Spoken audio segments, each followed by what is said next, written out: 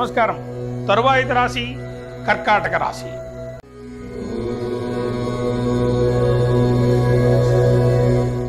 కర్కాటక రాశి వారికి ఈ వారం అంతా కూడా చాలా ఉద్విగ్న భరితమైనటువంటి క్షణాలను వీళ్ళు అనుభవించాల్సినటువంటి పరిస్థితి కనబడుతోంది. కొంచెం జాగ్రత్త వహించాలి. ప్రతిదీ కూడా కొంచెం టెన్షన్తో కూడుకునే ఉంటుంది. ముఖ్యంగా విద్యార్థులకు ఈ వారంలో పరీక్షాకాలం అన్నట్టు ఉంటుంది.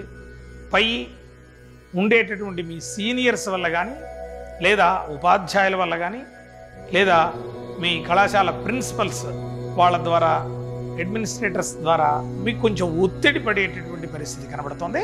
అందువల్ల విద్యార్థులు పాత సబ్జెక్ట్స్ ఒకసారి రివిజన్ చేసుకోవడము తద్వారా మీ క్లాసులో మీరు ఉత్తీర్ణులుగా నిలబడేటువంటి పరిస్థితి కనబడుతోంది. కొంచెం జాగ్రత్త వహించాల్సిందిగా తెలియజేస్తూ తర్వాత స్వయం వృత్తుల వాళ్ళకు ఏ విధమైనటువంటి ఇబ్బందులు లేకుండా ఉండడం కోసం పేపర్స్ అవి పక్కాగా ఉంచుకుని వ్యాపారంలో మీరు చేసేటటువంటి వ్యాపారంలో ఒకరోజు ముందు మీరు ఉండడం ఉత్తమంగా ఒకరోజు ముందుగా మీరు మేల్కోవటం అవసరమని తెలియ రేపటి విషయాలపై ఈరోజే దృష్టి పెట్టడం అనేటువంటిది. అడ్వాన్స్గా ఉండడం చాలా ఉత్తమ మార్గంగా ఈ వారం తెలియచేస్తా.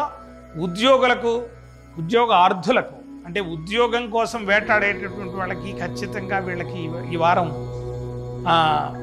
ఖచ్చితంగా ఉద్యోగం అవకాశం దొరికేటువంటి పరిస్థితి ఉంది.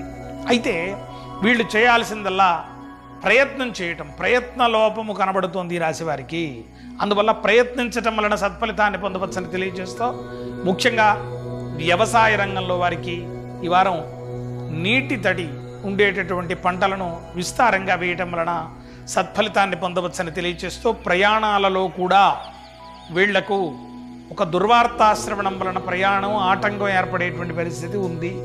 అందువల్ల ప్రయాణాలు చేయకపోవడం ఉత్తమ మార్గము అని చెబుతూ. ముఖ్యంగా కుటుంబపరంగా విందు వినోదాల్లో పాల్గొంచు పాల్పంచుకోవడము తద్వారా వీళ్ళకు ఏ విధమైనటువంటి రిలేషన్స్ లేని కొత్త రిలేషన్స్ అంటే ఏమి తెలియని వాళ్ళు కూడా మీతో చక్కగా స్నేహపూరిత వాతావరణంలో ప్రయాణం చేసేటువంటి పరిస్థితి కొత్త స్నేహితులు కలిసేటటువంటి పరిస్థితి కూడా ఈ వారంలో కనబడుతోంది.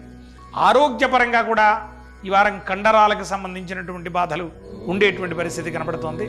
అందువల్ల కొంచెం జాగ్రత్త వహించాల్సిందిగా తెలియజేస్తూ దైవీ అనుగ్రహము దైవం యొక్క శక్తిని పాతం చేసుకోవటానికి ఈ వారం సుబ్రహ్మణ్యేశ్వర ఆరాధన చేయటం వలన సత్ఫలితాన్ని పొందవచ్చని చెబుతూ స్వస్తి.